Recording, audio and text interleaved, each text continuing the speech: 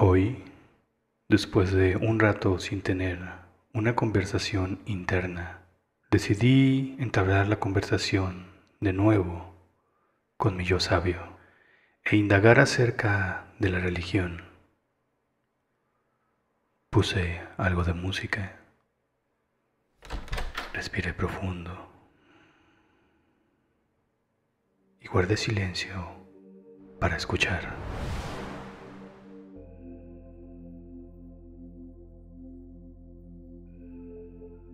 Yo superior, Dios que está en mi interior. Hoy quisiera preguntar acerca de la religión. ¿Puedes hablarme un poco de ella? Toda la vida en sí es una religión. Todo lo que haces es religión. Cuando tú estás feliz, me haces feliz. Cuando bailas, le haces religión a la vida y yo soy la vida.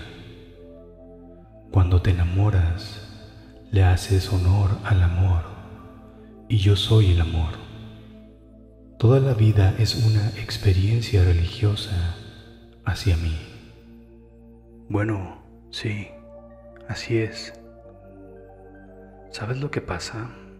Yo no suelo utilizar esa palabra demasiado por ejemplo, en mis videos, la razón es que está demasiado apegada a la religión terrenal y suele tener ataduras, pero es cierto lo que dices. Quisiera escuchar un poco más de esa religión terrenal. ¿Qué opinas de ello? El ser humano, por un largo tiempo, ha intentado comprender a Dios. Y el problema es dónde lo busca. La mayoría lo separa de sí mismo y lo busca por fuera, en el exterior. Como ha pasado tanto tiempo, las ideas han endurecido, creando a un Dios a imagen y semejanza del ser humano, un Dios bastante limitado, incluso hasta despiadado y vengativo.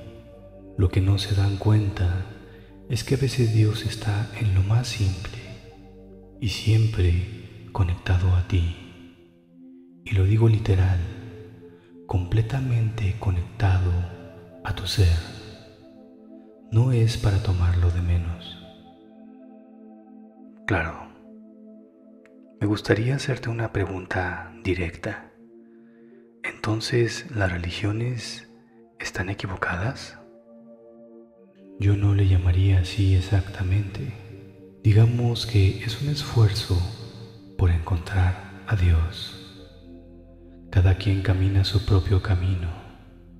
Cada quien arma su propio rompecabezas y se va dando cuenta de dónde va la pieza correcta en el lugar correcto. Cuando esto sucede, la verdad se hace evidente e innegable porque se llena de gozo, todo a su tiempo para cada persona. Claro, entiendo todo esto a nivel individual, es decir, por cada persona, pero ¿qué hay de los dueños de la religión, los que mandan y dictan qué creer y qué no creer? Ellos son ellos.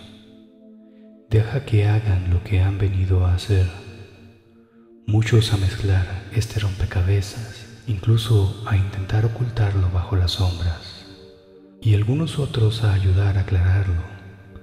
Pero yo te digo que tu mejor guía está dentro de ti, en tu centro y en el silencio. No necesitas nada más. Gracias.